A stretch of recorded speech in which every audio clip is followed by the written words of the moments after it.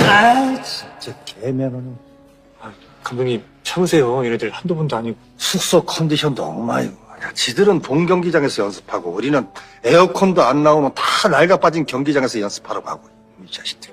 근데 왜 이렇게까지? 이유는 딱 하나지. 한세윤 어떻게든 이기고 싶은 거야. 수단만 뭐안 가리고. 어떻게 해요, 세연이? 안 그래도 부탁했는데. 5, 2. 공격 실패 때 환호는 개매너 아닌가요? 배나가 있으면 뭐 야유를 하겠냐. 오늘은 진짜 걱정되는데요.